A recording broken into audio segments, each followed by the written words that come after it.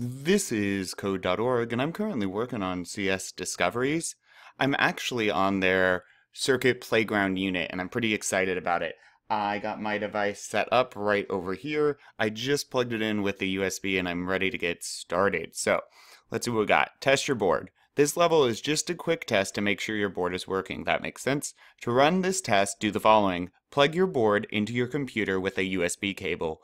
Click Run. Wait a few seconds for either a success or error screen to pop up. Okay. Oh.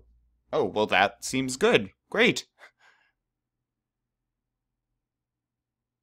If your test was successful, move on to the next level.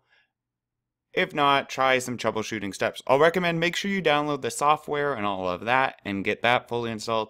Also, I am using um, the software that I installed it has its own little browser in it. And that's what I'm using. That's what I had the most success with. So, anyways, I'm really excited to see what we're going to do with this. So, onward.